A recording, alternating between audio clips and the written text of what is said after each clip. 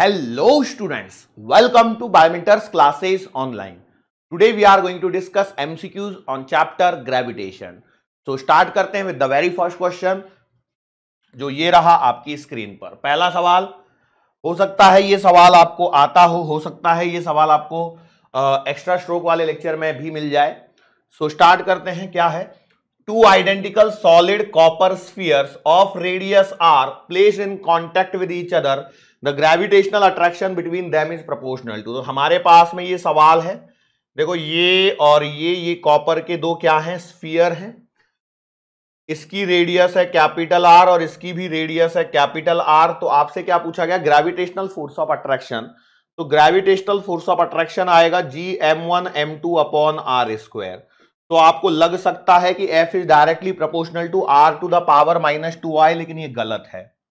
क्यों गलत है? व्हाट इज़ द रीजन तो यहाँ पर सिनारियो ये है बेटा, यहाँ पर मास नहीं दिए गए हैं। कॉपर के स्फीयर के बारे में बोला गया है तो कॉपर का स्फीयर इसको रेडियस के टर्म्स में लाना है। हमेशा सवालों में इस बात का ध्यान रखना है आपको कि कौन सी फ़िज़िकल क्वांटिटी दे रखी है, सिर्फ़ और सिर्फ़ वही फ़िज़िकल क्वांटिटी इसमें दिखनी चाहिए। तो अब यहाँ पर मास के बारे में कुछ भी नहीं बोला गया है तो हम मास को कैसे रिलेट करेंगे? तो हम जानते हैं डेंसिटी बराबर होता है मास अपॉन वॉल्यूम मतलब mass upon four by three pi R cube. तो यहाँ से हम कह सकते हैं मास को लिखा जा सकता है four by three pi rho R cube. ये इसका मास हो जाएगा। अब कई लोग कहेंगे, सर डेंसिटी भी तो कहाँ दे रखी है? लेकिन यहाँ पर ध्यान से दीजिए सॉलिड कॉपर स्फीयर लिखा है तो कॉपर है मतलब डेंसिटी इसकी फिक्स हो गई।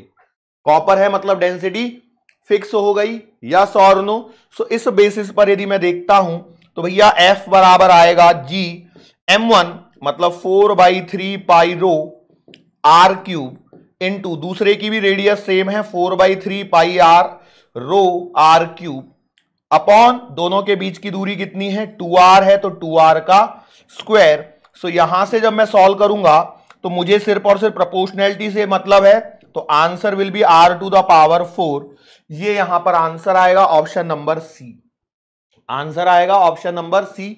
ध्यान से देखना प्रपोर्शनल लिखा है तो आर की पावर फोर आएगा। क्यों आर की पावर सिक्स है? नीचे आर की पावर टू है। यहाँ पर सॉल्व करेंगे आर की पावर माइनस टू या सॉरी आर की पावर सिक्स और नीचे आर की पावर टू सॉल्व करके आर की पावर फोर आएगा। That's the answer of this question हमेशा इंपॉर्टेंट चीज़ मैंने क्या बोली है कि कौन सी फ़िज़िकल क्वांटिटी दे रखी है? आंसर सिर्फ़ और सिर्फ़ उसी के टर्म्स में होना चाहिए। उन्हीं टर्म्स को यहाँ पर लिखना है, यहाँ पर मास को नहीं लिखना है।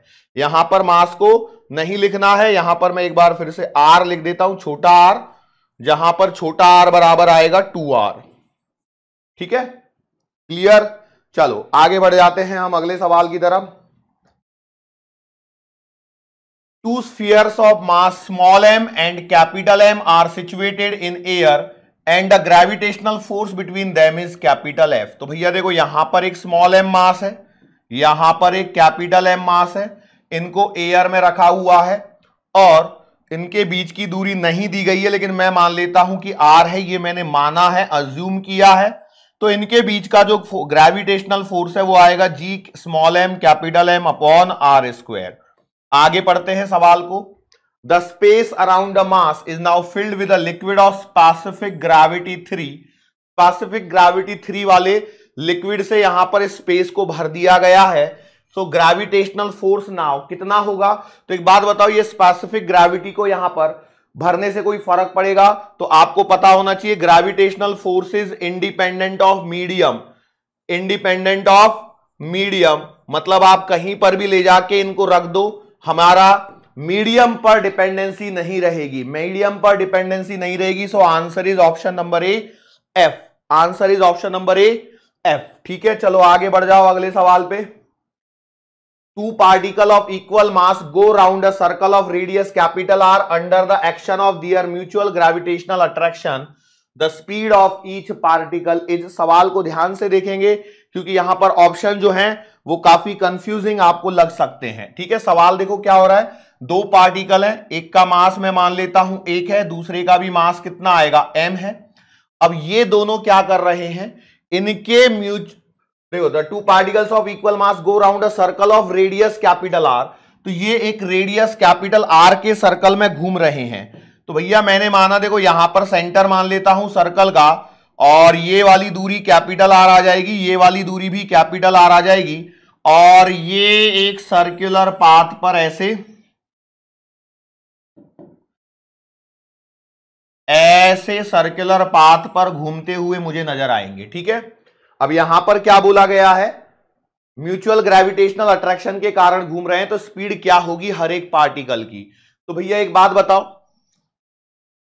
जैसे मैं इस वाले पार्टिकल पर बात करूँ तो यहाँ पर इस पर लग रहा होगा ग्रेविटेशनल फोर्स ऑफ़ अट्रैक्शन जो इसने प्रोवाइड किया है, और चूँकि ये सर्कल में घूम रहा है तो हम जानते हैं सर, इस पे क्या बात करेंगे। सेंट्रीफ्यूगल फोर्स की बात करेंगे या फिर आप सेंट्रीपिटल फोर्स से करो कोई दिक्कत नहीं है मैं हमेशा आपको सेंट्रीफ्यूगल फोर्स से बताता हूँ। तो ये सी एफ़ हो जाएगा तो ग्रेविटेशनल फोर्स ऑफ़ अट्रैक्शन आएगा G capital M capital M upon distance है इन दोनों के बीच की टू आर का होल स्क्वायर सेंट्रीफ्यूगल फोर्स जब लिखते हैं तो देखो सेंट्रीफ्यूगल लिखो या सेंट्रीपिटल लिखो तो क्या लिखते हो? M V square upon R यहाँ पर आर का मतलब रेडियस होती है। तो इस चीज़ को बस यहाँ पर ध्यान रखना तो ये आएगा M V square upon capital R now solve it solve करेंगे तो क्या होगा? एक एम से एक एम कैंसल एक आर से एक आर कैंसल तो देखो वी स्क्वायर बराबर आएगा G capital M upon four R yes और नो क्यों एक आर से एक आर कट गया? दो का स्क्वायर फोर आएगा, ये यहाँ पर आंसर आ रहा है। तो अब मुझे बताओ इसका क्या लेना है? रूट लेना है। तो v बराबर जो आपको मिलेगा, वो मिलेगा under the root of G M upon four R ऐसा कोई ऑप्शन है क्या यहाँ पर? नहीं है। चलो फोर को बाहर निकालेंगे तो ये आएगा one by two under the root of G M upon R ऐसा कोई ऑप्शन है क्या यहाँ पर? तो देखो ऑप्शन नंबर सी दिख रहा है क्लियरली कॉन्सेप्ट सर्कुलर मोशन वाला ही है। बस यहाँ पर ग्रेविटेशनल फोर्स का ये कॉन्सेप्ट एडिशनल यहाँ पर एड ऑन किया गया है। ग्रेविटेशनल फोर्स को बराबर कर देना है। ऐसे ये सवाल इलेक्ट्रोस्टैटिक्स में बन सकता है, जहाँ पर चार्जेस होंगे, एक पॉजिटिव और एक नेगेटिव उस समय आप क्या कर रहे होंगे, यहाँ पर इलेक्ट्रोस्टैटिक फोर्स ऑफ़ अट्रैक्शन लिख रहे होंगे, यहाँ पर M V square upon R लिख रहे होंगे। यहाँ पर स्पीड पूछी है और वी लिखा है। हो सकता है वो एंगुलर वेलोसिटी के लिए पूछे तो एम ओमेगा स्क्वायर आर लिख देना है। चीज़ें बिल्कुल आसान है। बस आप उन्हें अपने मन से कॉम्प्लिकेटेड ना बनाएँ, बस इतना ही है। सवाल देखें क्या बोल रहा है, वो करते चले जाओ। भैया सर्कल में पार्टिकल कब घूमता है? जब आप उस पर सेंट्रिपिटल फोर्स की बात करते हो तो सेंट्रिपिटल फोर्स कौन प्रोवाइड करेगा? ग्रेविटेशनल फोर्स प्रोवाइड करेगा। मैं सेंट्रीफ्यूगल फोर्स से करता हूँ कि भैया, बाहर की डायरेक्शन में सेंट्रीफ्यूगल होगा। यस सर्कल में घूम रहा है तो। यस कैसे भी कर लो। बट मैग्नीट्यूड सेंट्रीपिटल और सेंट्रीफ्यूगल का क्या रहेगा? सेम रहेगा। यस और नो यही कहानी होती है, यही कॉन्सेप्ट होता है। इसी के बेसिस पर यह सवाल यहाँ पर सॉल्व हो रहा है। चलो, अगला सवाल यहाँ पर देखो। क्वेश्चन नंबर है फोर टू पॉइंट मासेस हैं। A and B having masses in the ratio four is to three A का मास तो मैंने माना, देखो मास ऑफ़ ए को मैं मान लेता हूँ फोर एम और मास ऑफ़ बी को मैं मान लेता हूँ थ्री एम क्यों ऐसा? क्योंकि उसने बोला है, भैया ए और बी के mass four is to three के रेशियो में है तो ये मेरे को ज़्यादा आसान लगता है और आपको भी यही आसान लगेगा, इसी से आप करें तो ज़्यादा बेटर है। Separated by a distance of one metre दोनों के बीच की दूरी दे रखी है वन मीटर तो मैं ये कह सकता हूँ कि यहाँ पर एम ए रख दिया मैंने, यहाँ पर एम बी रख दिया मैंने, और दोनों के बीच की दूरी आर बराबर वन मीटर यहाँ पर उन्होंने दे रखी है। फिर क्या बोला है? वेन अनादर पॉइंट मास सी जिसका मास कैपिटल एम है, उसको is placed in between A and B the force between A and C is one third of the force between B and C यहाँ पर क्या किया गया है? इसके बीचों बीच सी पॉइंट बना दिया। यहाँ पर एक पॉइंट मास रख दिया एम और अब वो कह रहा है कि भैया देखो force between A and C. तो force between A and C is one third of force between B and C. ये उसकी कहानी है। तो भैया then the distance of C from A oh distance of C from A तो C की ए से डिस्टेंस तो मैं मान लेता हूँ ये एक्स दूरी है। तो ये वाली दूरी कितनी आएगी? वन माइनस का एक्स ठीक है, पूरा डेटा हो गया। जो सवाल बोल रहा है वो मैं करते जा रहा हूँ। चलो अब देखते हैं क्या ये सवाल इससे सॉल्व होगा। ओके तो ए और सी के बीच का फोर्स कितना आएगा? तो ये आएगा जी मास ऑफ़ ए मास ऑफ़ सी क्या है? कैपिटल एम अपॉन दोनों के बीच की दूरी कितनी है? एक्स स्क्वायर बराबर one by three as it is चलेगा। जी आएगा, मास ऑफ़ बी आएगा इनटू कैपिटल एम क्योंकि बी और सी के बीच में चाहिए। अपॉन दोनों के बीच की दूरी वन माइनस एक्स का होल स्क्वायर सवाल में क्या पूछा है? एक्स ही तो पूछा है। तो भैया एक्स तो हम निकाल सकते हैं यहाँ से। देखो एम से एम कैंसल जी से G cancel now M A की जगह क्या रख दो? मास ऑफ़ ए मैंने फोर एम माना है। अपॉन एक्स स्क्वायर बराबर one by three mass of B मैंने थ्री एम माना है तो थ्री एम रख दिया। अपॉन वन माइनस एक्स का होल स्क्वायर देखो एक एक स्टेप वैसे ही चल रहा है, जैसा होना चाहिए। अब बताओ, कुछ कटने लायक? थ्री से थ्री कटेगा एम से एम कटेगा। तो क्या बच रहा है उसको लिख दो बेटा यहाँ पर। आपके पास में बच रहा है फोर बाई एक्स स्क्वायर बराबर one upon one minus X the whole square. एक काम करें, स्क्वायर रूट ले लो S Q R T square root. क्या बनेगा बताओ, टू बाई एक्स बराबर वन अपॉन वन माइनस का एक्स। क्रॉस मल्टीप्लाई करता हूँ तो यह आएगा टू माइनस का टू एक्स बराबर का एक्स। तो यहाँ से इधर ले जाएँगे तो थ्री एक्स बराबर आएगा टू तो एक्स बराबर आएगा थ्री बाई टू मीटर। ये मेरे पास में यहाँ पर आंसर आ रहा है। यस? तो चलो, एक्स बराबर जब मैं थ्री बाई टू लिख रहा हूँ, ये थ्री बाई टू ज़्यादा नहीं हो गया? उल्टा कर दिया कुछ। अरे सॉरी टू बाई थ्री आएगा। अरे, रे रे रे। टू बाई थ्री आएगा। वैसे भी वो एक मीटर से बड़ा चला गया। गलती वैसे भी समझ में आ रही है।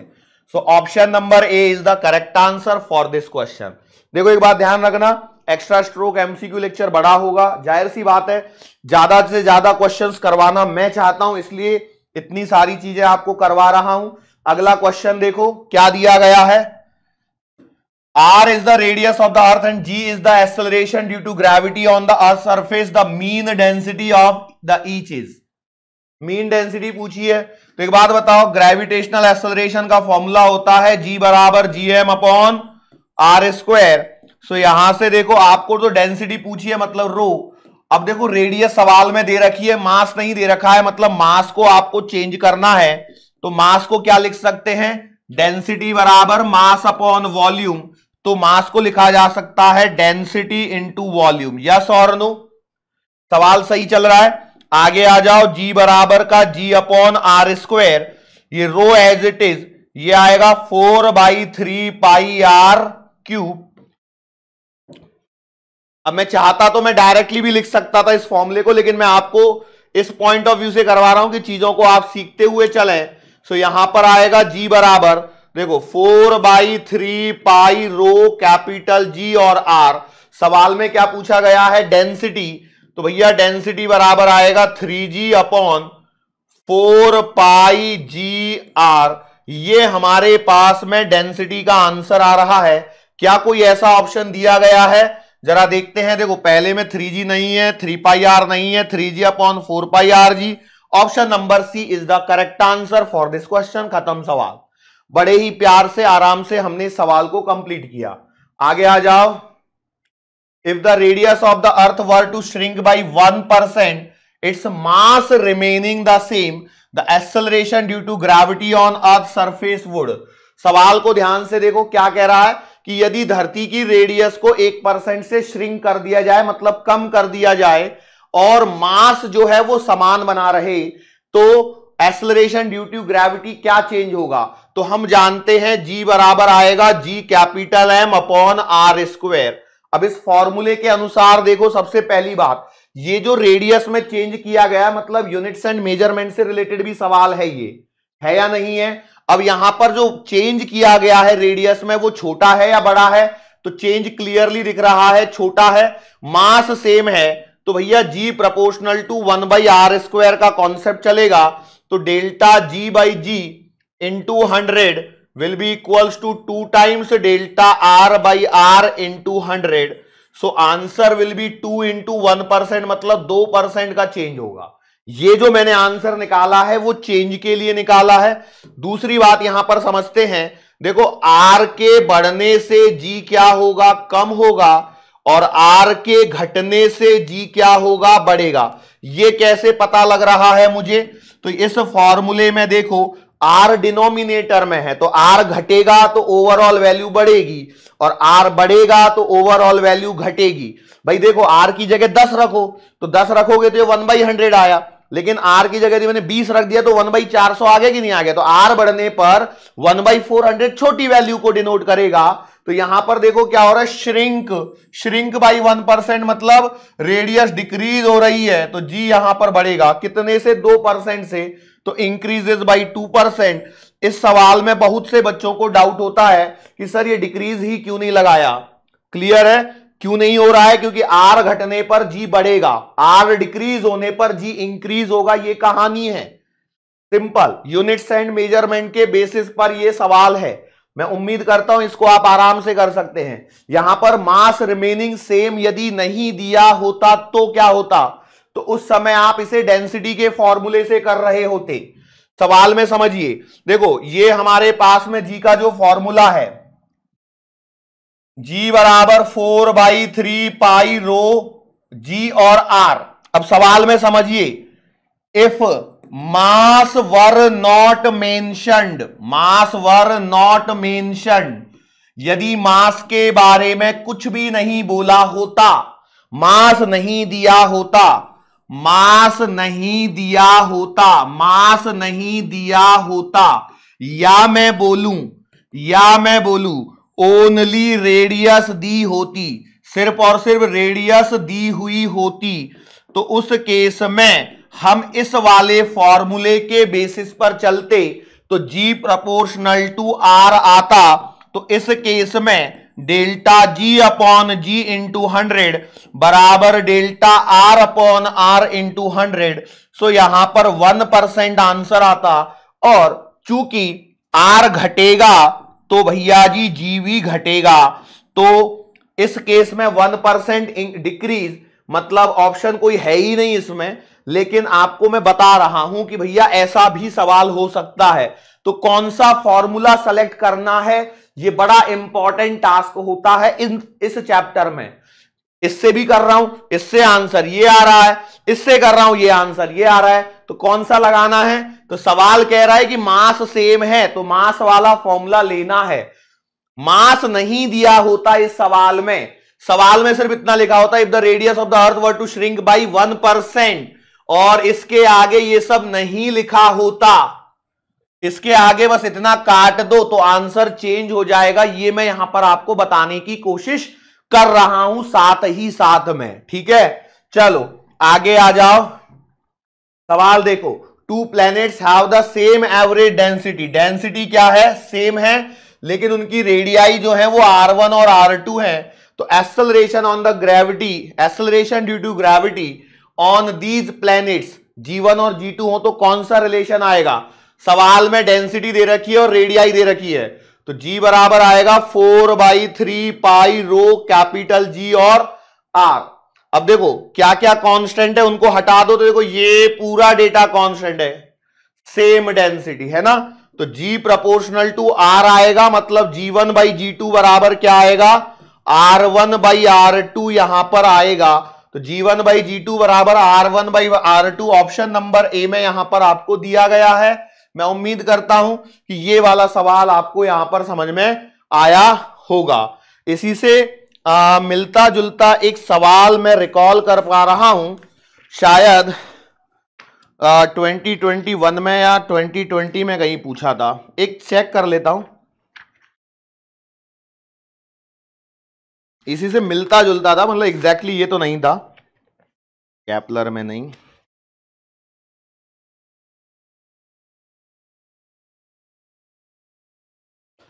अरे, इसमें नहीं दिख रहा कहीं।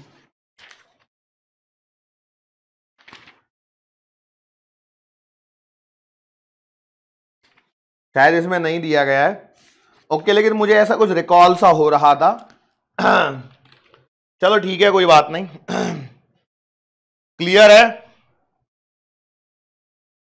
The density of newly discovered planet density of newly discovered planet is twice that of earth density of planet कितनी है? Twice that of earth okay the acceleration due to gravity at the surface of planet is equal to that at the surface of the earth gravitational acceleration planet पे किसके बराबर है? Earth के बराबर है.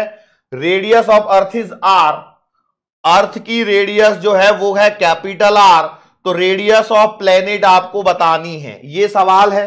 तो अब एक बात बताओ। ये सेम दिया है।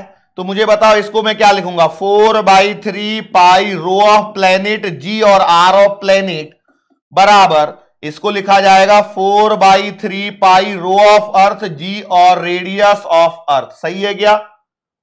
कैंसल कर दो जो समान चीज़ें हैं four by three pi four by three pi G से जी कैंसल यहाँ पर ध्यान से देखें अभी।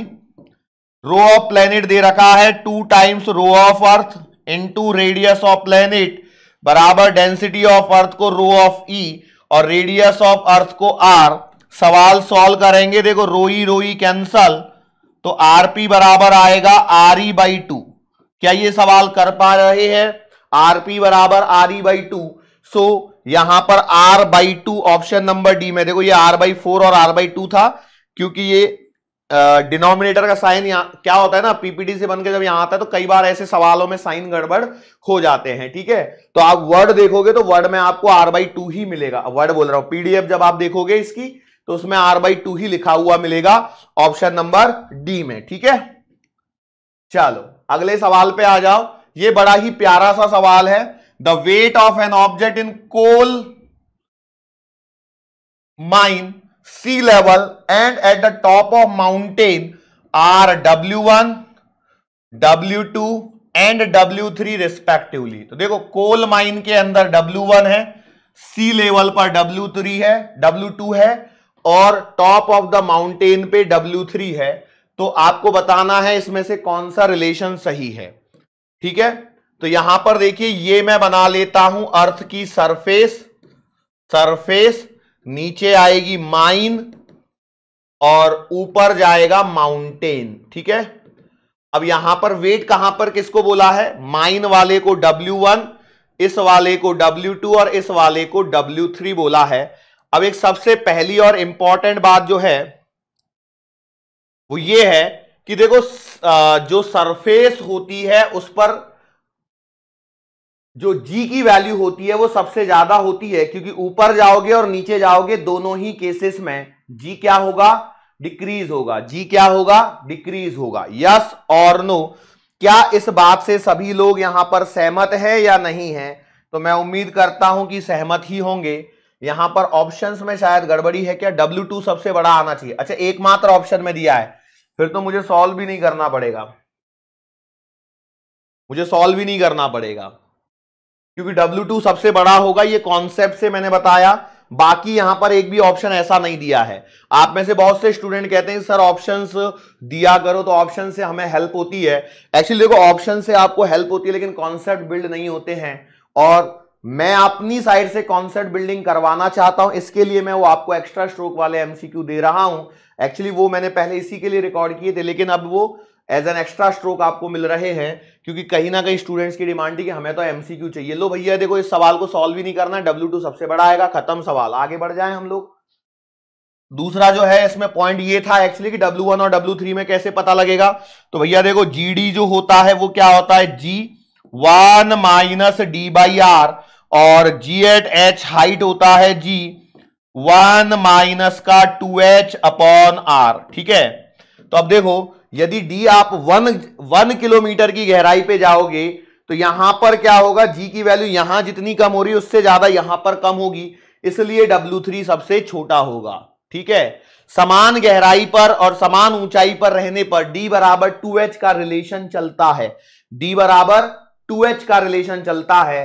बराबर। मतलब यदि जी की वैल्यू को वन परसेंट डाउन करने के लिए, मान के चलो कुछ एक फिक्स परसेंट से डाउन करने के लिए आप नीचे वन किलोमीटर गए हो तो ऊपर आपको दो किलोमीटर हाइट पे जाना पड़ेगा। कब? जब आपकी डेप्थ वन किलोमीटर आप रखते हो। तो ये कॉन्सेप्ट है। इसके बेसिस पर यहाँ पर आंसर इसका आ जाएगा। The radius of the earth is चौसठ सौ किलोमीटर। जी बराबर इतना दिया गया है। In order that a body of 5 kilogram weights zero at the equator the angular speed of the earth is कितनी आएगी, वैसे इसका रिज़ल्ट याद होगा, लेकिन नहीं है उनके लिए मैं बता दूँ। देखो भैया वेट एट इक्वेटर क्या करना है? ज़ीरो तो वेट एट इक्वेटर कैसे ज़ीरो करोगे? Mass into gravitational acceleration at equator should be zero भैया वेट का मतलब यही? मास को तो हटा दो G at equator should be zero लेकिन जब ये इक्वेटर विक्वेटर वाली बात आती है तो हम क्या कहते हैं कि भैया जी डैश बराबर आना चाहिए G minus omega square R cos square lambda, ये फॉर्मूला आप सब लोग जानते हैं। अब इक्वेटर पे यदि आप खड़े हो एट इक्वेटर तो इक्वेटर पे आपका जो लैमड़ा है वो ज़ीरो हो जाएगा। तो लैमड़ा ज़ीरो हो जाएगा तो कॉस लैमड़ा बराबर क्या आएगा? वन। कॉस लैमड़ा कितना आएगा? वन। क्योंकि कॉस लैमड़ा बराबर क्या लिखोगे? कॉस ज़ीरो बराबर वन। तो यहाँ से देखो जी डैश को तो ज़ीरो करना है। तो भैया ज़ीरो बराबर आएगा जी माइनस का ओमेगा स्क्वायर आर तो ओमेगा बराबर आएगा under the root of G by R आएगा या नहीं आएगा? बहुत जगह पे ये आपने देखा होगा तो ओमेगा बराबर आएगा under the root of G by R अब प्रॉब्लम ये है कि ये तो हमको रटा रटाया याद होता है, इसकी वैल्यू मैंने याद करने को बोली है। जिनको याद होगी वो बहुत अच्छी बात है, लेकिन नहीं है, वो निकाल सकते हैं। कितना आता है? वन बाई एट हंड्रेड आता है। कैसे आएगा भैया? ओमेगा बराबर, जी की जगह मानो दस, रेडियस है चौसठ सौ किलोमीटर। तो एक, दो, तीन, ज़ीरो यहाँ बढ़ जाएँगी। अब देखो, एक ज़ीरो से तो एक ज़ीरो कट गई। इन दो ज़ीरो से, इन दो ज़ीरो से और इन दो ज़ीरो से। तो ओमेगा बराबर कितना आएगा? वन बाई आठ सौ। ठीक है? सिंपल है। बहुत ज़्यादा डिफ़िकल्ट नहीं है। आराम से इसको किया जा सका, सकता है। ठीक है? अरे बोलो कर लोगे ना। दस सवाल हमारे यहाँ पर कंप्लीट हुए। तीन मिनट का एवरेज चल रहा होगा मेरे हिसाब से। है ना? चलो, आगे बढ़ जाता हूँ मैं अगले सवाल की तरफ़। और अगला सवाल यहाँ पर आ रहा है। क्वेश्चन नंबर इलेवन है ये। A planet moving along an elliptical orbit. Is closest to the sun at distance r1 and farthest away at a distance r2 if v1 and v2 are the linear velocities at these points respectively then the ratio v1 by v2 लो भैया ये आपने बना दिया elliptical path ये यहाँ पर इसका ये हो गया क्या बोलते हैं सेमी मेजर एक्सिस और सेमी माइनर एक्सिस मैं मान लेता हूँ ये है सन और देखो क्या बोला है a moving moving along an elliptical orbit is closest to the sun at distance r1 मतलब ये वाली डिस्टेंस r1 हो गई क्लोजेस्ट वाली, ये वाली हो गई r2 है ना? लॉन्गेस्ट फारदेस्ट वाली।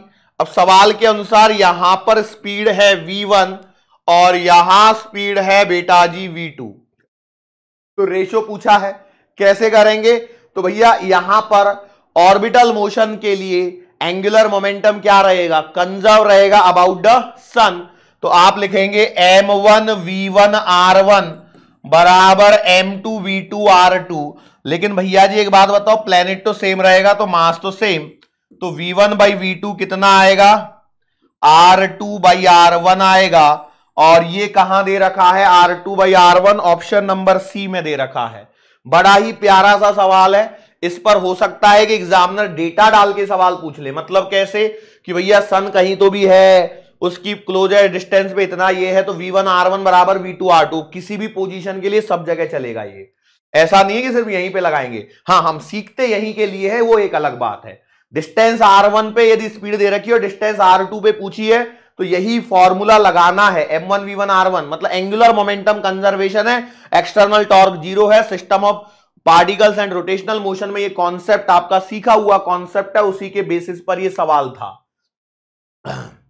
If the distance between the earth and the sun becomes half of its present value then the number of days in year would have been ये सवाल, ये बड़ा ही प्यारा सा सवाल है। कौन से कॉन्सेप्ट पे चल रहा है, बताओ। डिस्टेंस का रिलेशन है, किसके साथ में? Number of days in year मतलब टाइम के साथ में। तो क्या होता है? Relation T square is directly proportional to R cube yes और नो अब कहानी के अनुसार क्या हो रहा है? देखो टी प्रोपोर्शनल टू ले लो आर की पावर थ्री बाई टू ठीक है? अच्छा तो अब देखो, पहले मैं मान लेता हूँ, एक साल में तीन, एक साल में मान क्या लेता हूँ? पता है, तीन सौ पैंसठ दिन होते हैं। तो भैया, तीन सौ पैंसठ अपॉन नए दिन पूछे गए हैं। पहले डिस्टेंस है आर नई डिस्टेंस है R by two the whole power three by two काटा पीटी करो आर ने मारा आर को दो ऊपर चला जाएगा। तीन सौ पैंसठ बटे टी बराबर टू की पावर थ्री बाई टू देखो, इसको करने के लिए क्या करूँ मैं? टू की पावर थ्री ले लो पहले। कितना आएगा? आठ। तो तीन सौ पैंसठ बटे टी बराबर आठ का रूट मतलब कितना? टू रूट टू तो भैया टी बराबर आएगा three sixty five divided by two root two clear अब देखो इसको करने का तरीका सोचो, क्या कर सकता हूँ मैं? टू रूट टू का मतलब two into root two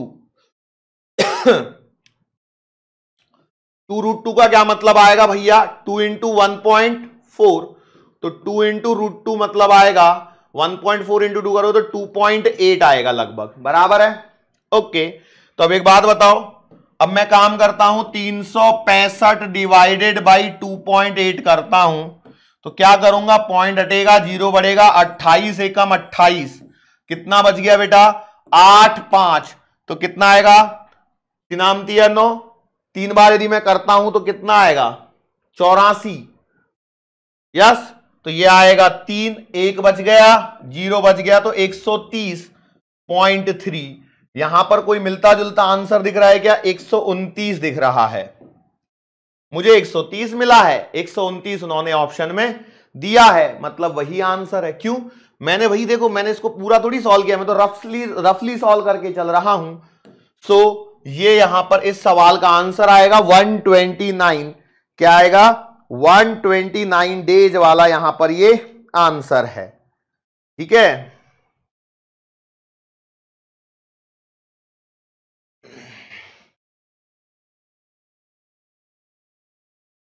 The radius of the earth r and acceleration due to gravity at its surface is g if a body of mass m is sent to a height of r by 4 height choti ya badi badi from the earth surface the potential energy increases by potential energy का formula होता है M G H upon one plus का H upon R जब आपका H R की तुलना में छोटा होता है तो आंसर एम जी एच आता है डायरेक्टली याद है ना चलो पुट करते हैं एच की जगह कितना? आर बाई फोर तो ये आएगा M G R by four whole divided by one plus R by four upon R R ने मारा आर को। बताओ क्या आंसर आएगा? देखते हैं जरा। तो यहाँ पर हम करते हैं। आर से R cancel one by four तो देखो ये आएगा M G R by four whole divided by चार और एक पाँच। पाँच बटे चार। बताओ, काटा पीटी करोगे तो क्या बचेगा? चार से चार cancel answer is M G R by five examiner का इसमें सबसे फेवरेट जो सवाल होता है, वो होता है एच की जगह आर लेना। एच की जगह आर लेना। मतलब वो सवाल पूछा जा चुका है कि भैया यदि एच एच पृथ्वी की रेडियस के बराबर हाइट पर हो तो पोटेंशियल एनर्जी में कितना चेंज आएगा? तो एच की जगह आर लिखना है बस M G R by two M G R by two उसका रिज़ल्ट आता है, ठीक है? कर लोगे ना? अच्छा उसमें घुमाता क्या है? सेंटर से हाइट दे देता है कि भैया सेंटर से टू हाइट पे हो। सेंटर से टू आर हाइट नहीं, सेंटर से टू आर डिस्टेंस पर हो। तो भी एच बराबर आर है, ठीक है? कर लोगे? अदरवाइज़ इसका तरीका ये सिंपल सा है ही है। अदरवाइज़ इसको ऐसे भी कर सकते हो यू इनिशियल बराबर आएगा, माइनस का G M one M two upon R one two तो यू इनिशियल आएगा माइनस का G capital M small M upon radius मतलब आर पर हो। फिर u फाइनल आएगा कितना? माइनस का g capital M small M upon R plus का r बाई फोर चेंज पूछा है तो भैया डेल्टा u बराबर आएगा, u फाइनल माइनस का u इनिशियल इसको सॉल्व कर लो आंसर आ जाएगा। लेकिन मेरा मानना यह है कि आप डायरेक्टली इस फॉर्मूले को याद रखो क्लियरली सवाल जल्दी होना है। यहाँ पे समय वेस्ट नहीं करना है टाइम वेस्ट करने के लिए नहीं है हम लोग यहाँ पे। कॉन्सर्ट बिल्डिंग नहीं करनी है, सवाल फटाफट से सॉल्व करना है। ठीक है? कॉन्सर्ट बिल्डिंग के लिए पूरे साल भर समय था। एग्ज़ाम में आएगा तो इससे करना है। One M G H upon one plus H by R उम्मीद करता हूँ यहाँ पर यह समझ में आया होगा। अगला सवाल देखो। In the previous problem the minimum speed with which the body must be thrown from the surface of the earth so as to reach a height of R by four previous problem मतलब पता है कौन सा? यही वाला problem है। ठीक है तो इसलिए इसको ध्यान रखना प्रीवियस प्रॉब्लम ही मैंने रख के छोड़ा है यहाँ पर। तो ताकि एक ही सवाल से दो सवाल यहाँ पर हो सके। कैसे करना है बताओ? प्रीवियस प्रॉब्लम वही है। कुछ नहीं है। जैसे यहाँ पर हो आप अर्थ की सरफेस पर हो। ज़ाहिर सी बात है, ये एम मास का पार्टिकल है। अब आपको इसको कहाँ फेंकना है? यहाँ से आर बाई फोर पर फेंकना है। यहाँ पर स्पीड पूछी गई है। यस और नो? सो, सॉरी, यहाँ नहीं पूछी गई है। यहाँ पूछी गई है कितने से फेंके कि यहाँ तक ही पहुँचे। यहाँ पर स्पीड ज़ीरो है। कैसे करें एनर्जी कंजर्वेशन का बड़ा ही प्यारा सा सवाल। वैसे मैंने आपको इसके लिए बोला है कि फॉर्मूले याद कर लेना, लेकिन हो जाए तो ठीक है, नहीं हो तो इससे करेंगे। कैसे करेंगे? एनर्जी कंजर्वेशन, कैसे? यहाँ की काइनेटिक प्लस पोटेंशियल, यहाँ की काइनेटिक प्लस पोटेंशियल, बराबर? एनर्जी कंजर्वेशन है। आ जाओ तो मैं बोलता हूँ, ये है ए पॉइंट ये है P B point kinetic at A plus potential at A बराबर? Kinetic at B plus potential at B kinetic at A कितनी आएगी? Half M V square potential at A आएगी माइनस का G capital M small M upon are kinetic at B zero हो जाएगी और potential at B आएगी minus का G capital M small M upon कितना आएगा? आर प्लस एच चलो ठीक है। इसको और भी बड़े ही आसानी से किया जा सकता है, पता है कैसे? देखो, कहीं ना कहीं ये तो ज़ीरो है। तो ये क्या बन रही है? काइनेटिक एनर्जी एट ए बराबर potential energy at B minus potential energy at A मतलब जितना पोटेंशियल एनर्जी में चेंज हो रहा है, वो किसके बराबर होगा? काइनेटिक एनर्जी के बराबर होगा। अरे तो ये तो निकाला हुआ है। कितना है ये? ये है M G R by five और यहाँ से आ जाएगा half M V square M ने मारा एम को वी इधर चला जाएगा। तो ये आएगा under the root of two G R by five खत्म सवाल। सर, इसको करके दिखाओ। भैया, देखो, ये वही आंसर आएगा। कर वैसे ही रहे आंसर वही आएगा। सर, आपको कैसे पता लगा? अरे भाई, ज़ाहिर सी बात है। कैसे पता लगा? रुको। Half M V square minus G capital M small M upon R बराबर minus G capital M, small M upon R plus का आर बाई फोर सॉल्व करो इसको। कितना आएगा? हाफ़ एम वी स्क्वायर बराबर G capital M, small M upon R minus. इसको करेंगे तो यह आएगा four G capital M, small M upon five R. सही है?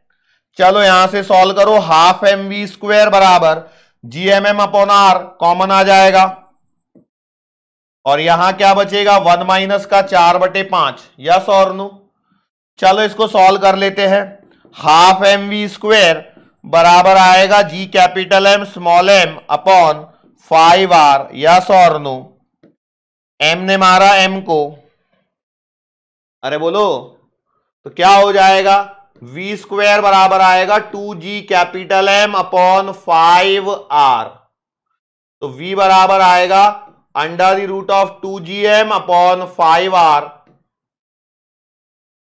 अब एक काम करो, क्या g बराबर आपको पता होना चाहिए एम अपॉन आर स्क्वायर होता है तो एम की जगह जी आर स्क्वायर लिख दो यहाँ पर। V बराबर आएगा two G R square upon five R तो कितना आएगा? Two G R upon five यही तो लगाया मैंने। आंसर बदलते नहीं है भाई, किसी भी मेथड से करो। Answer will always remain same answers will always remain same method चाहे कोई भी हो। क्लियर है? एनर्जी कंजर्वेशन का प्यारा सा सवाल। एक्सपेक्ट करेंगे कि इस बार इससे रिलेटेड कोई सवाल वो एग्ज़ाम में ज़रूर डालना चाहिए। लेट इट बी अब देखते हैं। सवाल देखो, यहाँ पर आ रहा है। In a satellite if time of revolution is T kinetic energy proportional to ये क्या दे रहा है? सवाल में पूछ रहा है काइनेटिक एनर्जी कैसे प्रोपोर्शनल तो भैया काइनेटिक तो हम तो जानते हैं हाफ़ एम वी स्क्वायर यहाँ तो कोई रिलेशन ही नहीं मिल रहा। अब क्या करें? ओहो काइनेटिक एनर्जी बराबर हाफ़ एम वी को मैं क्या लिख सकता हूँ? सर्कुलर मोशन के कॉन्सेप्ट से ओमेगा आर तो भैया, इसको ओमेगा आर का स्क्वायर सो काइनेटिक एनर्जी आएगी half M R square omega square चलो ओमेगा क्या लिख सकते हैं? टाइम पीरियड के लिए two pi upon capital T जानते हैं? तो स्क्वायर कर दो। तो काइनेटिक एनर्जी बराबर आएगी half M R square two pi upon T का होल स्क्वायर। तो काइनेटिक एनर्जी क्या आ रही है? काइनेटिक एनर्जी आ रही है proportional to one by T square yes है क्या कोई ऑप्शन ऑप्शन नंबर बी में दिख रहा है डायरेक्टली तो मैं काहे टेंशन लू? कई बार सिंगल स्टेटमेंट लाइन के सवाल होते हैं, लेकिन उसमें, अब देखो, जनरली अब ये, वैसे ये सवाल हमने पूरे साल भर नहीं किया है, ऐसा। लेकिन, ऐसा भी नहीं था कि नया यदि पहली बार आपको यदि एग्ज़ाम में दिख भी जाता तो आप ना कर पाते, ऐसा था क्या?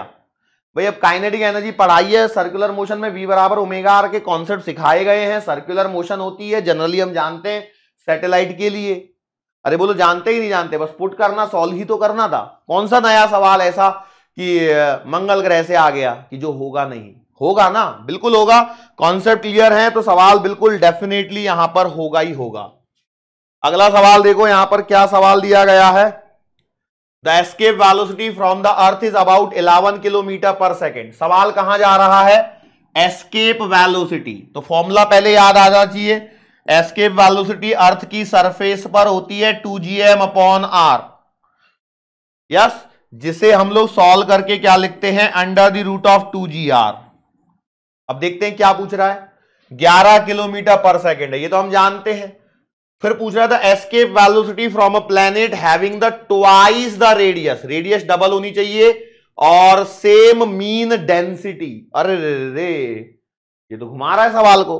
अरे क्या दिक्कत है भाई? सवाल में रेडियस होनी चाहिए और मास नहीं होना चाहिए डेंसिटी होनी चाहिए। तो इसे मैं क्या लिख लू? Two G upon R mass की जगह क्या आएगा? डेंसिटी बराबर मास अपॉन वॉल्यूम याद है? तो यह आएगा rho into four by three pi R cube yes और नो सवाल देखो। इससे क्यों नहीं कर रहा हूँ? इससे क्यों नहीं कर रहा हूँ? क्योंकि इसमें रेडियस है। डेंसिटी यूज़ नहीं हो रही है।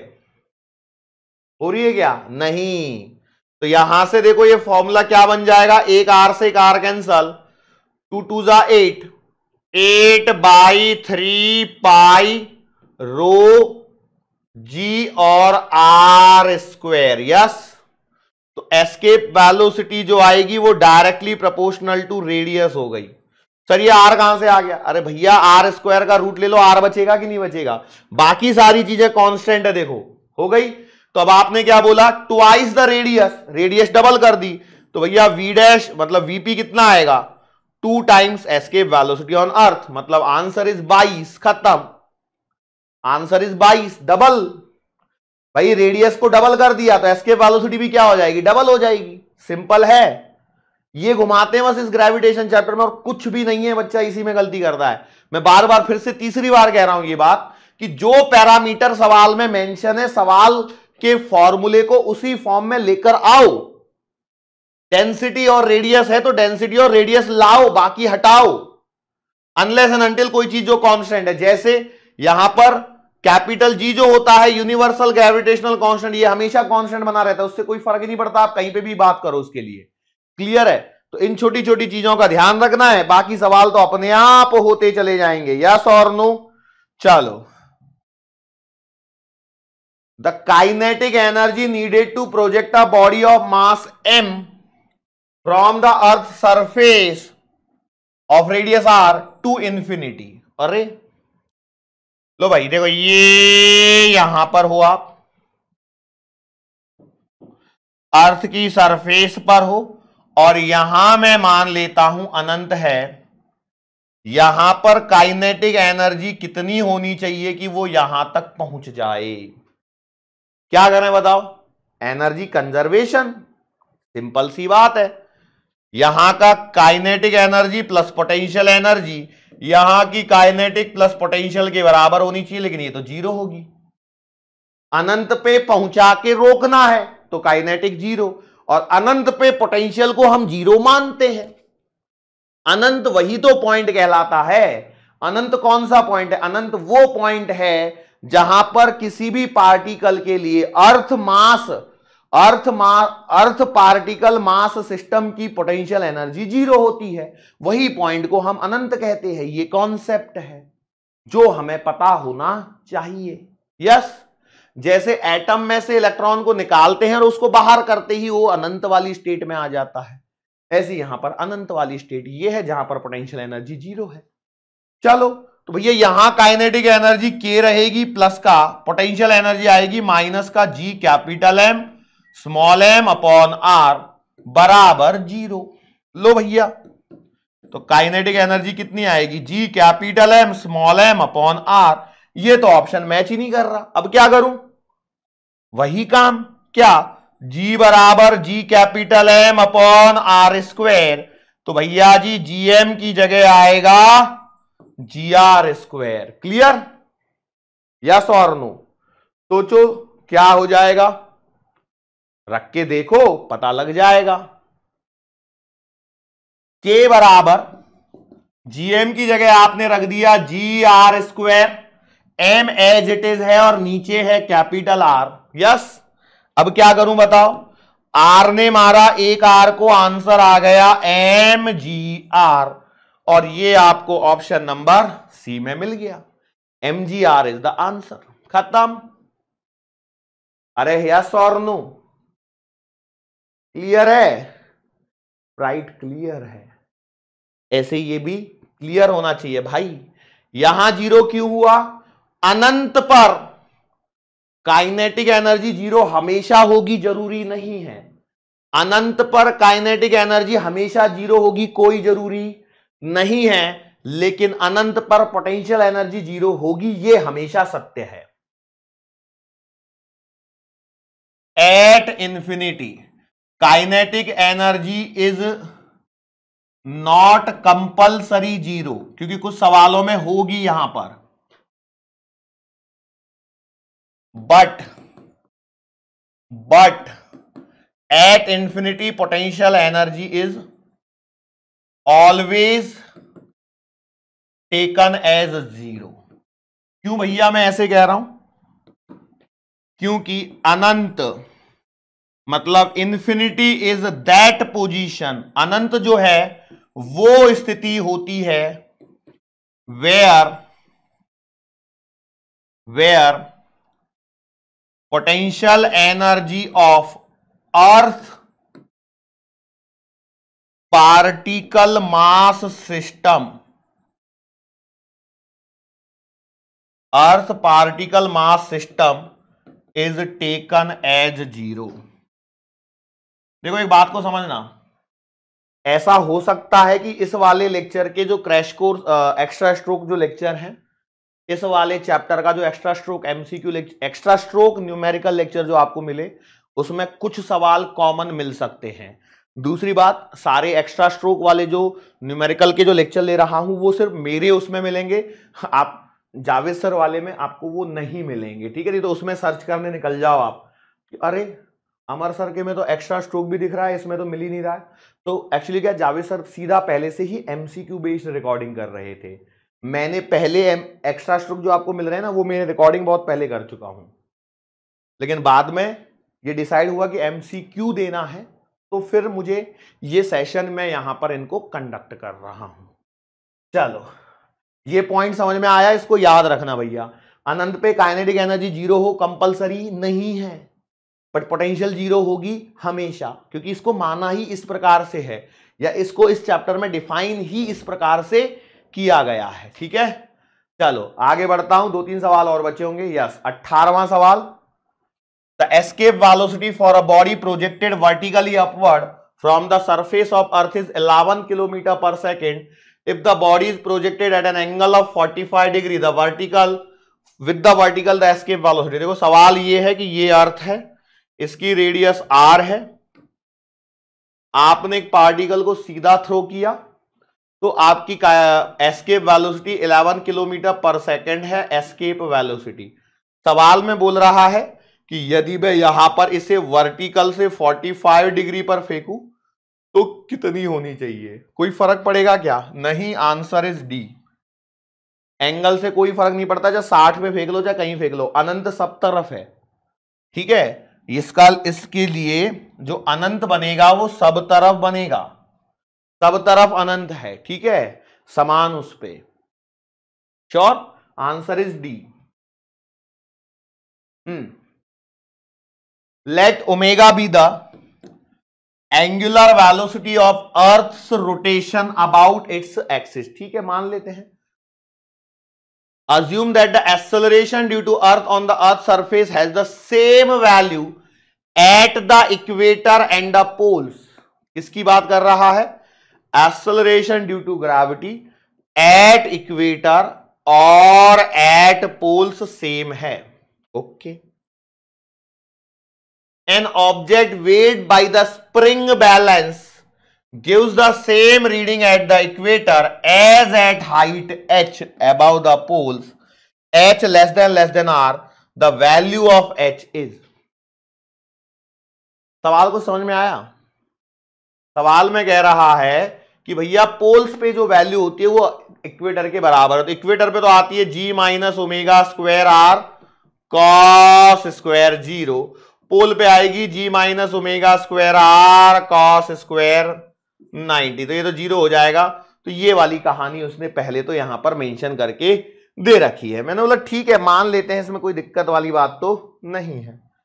अब सवाल के अनुसार वो क्या कह रहा है? फिर से कह रहा है, एक ऑब्जेक्ट जिसका वज़न किया गया है एक स्प्रिंग बैलेंस से, वो सेम रीडिंग देता है कहाँ पर?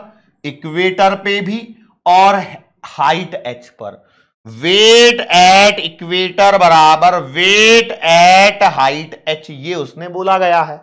अच्छा तो उसका तो कोई सेंस ही नहीं बना। इससे देखो, क्योंकि आपसे इसमें एच पूछा है। तो भैया वेट एट इक्वेटर आएगा एम और जी एट इक्वेटर बराबर एम और G at height H okay चलो एम जी एट इक्वेटर आएगा G minus omega square R cos square zero बराबर M G at height H आएगा G one minus two H upon R बोलो सही है क्या?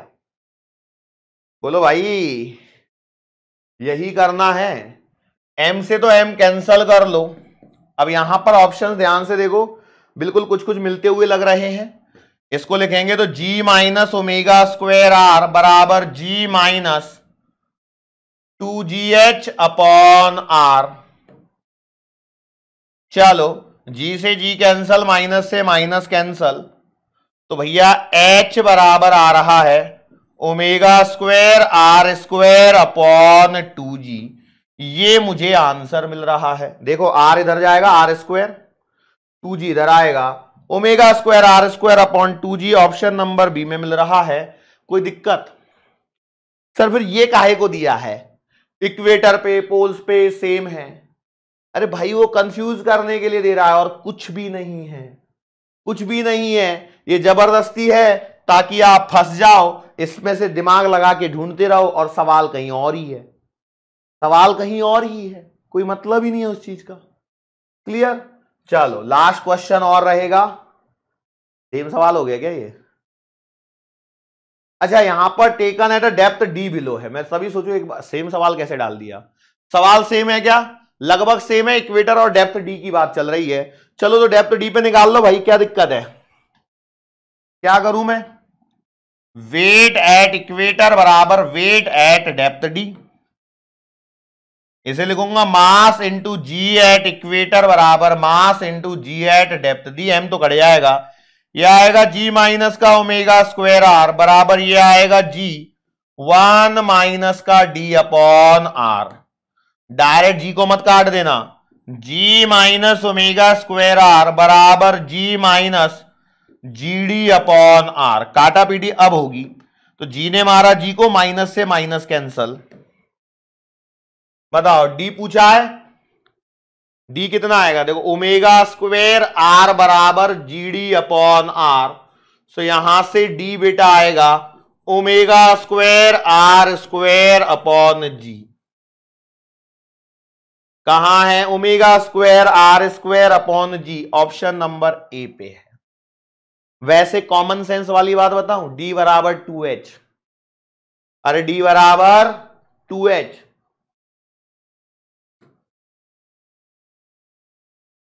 ये सवाल है ना उन्नीसवा। एच की जगह डी बाई टू रख दो। बराबर omega square R square upon two G. दो ने मारा दो को। डी बराबर omega square R square upon G लो। क्योंकि ये निकाल चुके थे तो एक ही पेपर में दो सवाल सेम तो नहीं आएँगे ना। वैसे आ भी सकते हैं, इस बात को ये मत करना। Don't underestimate the power of NTA आ सकते हैं भाई, कभी भी, कुछ भी हो सकता है। एनटीए पेपर बनाती है पिछले साल ऑसिलेशन वेव्स का तो सवाल ही डालना भूल गई। और करंट इलेक्ट्रिसिटी भी इतनी मेहरबान हो गई चार पाँच सवाल डाल दिए। तो ऐसे ही होता है। ये होता है बेटा एनटीए के पेपर में। ठीक है? तो मैंने इसको आपको आंसर बता दिया। Option number A is the correct answer and hence the numerical section of this chapter is finish तो ग्रेविटेशन के एमसीक्यू यहाँ पर फिनिश होते हैं। एक्स्ट्रा स्ट्रोक वाला एमसीक्यू लेक्चर आपको मिल भी सकता है, नहीं भी मिल सकता है that I can not decide it right now but yes I know that कि मैंने वो करके रखे हैं क्योंकि मैं पहले ही कर चुका था उन लेक्चर्स को। बट चूँकि डिमांड उठने लगेगी हमको एमसीक्यू चाहिए तो भैया एमसीक्यू मैं आपको यहाँ पर दे रहा हूँ, ठीक है? Sure okay so that's it for today आज के लिए बस इतना ही। मुलाकात फिर से होगी अपनी आने वाले अगले लेक्चर के दरमियान। सो तब तक के लिए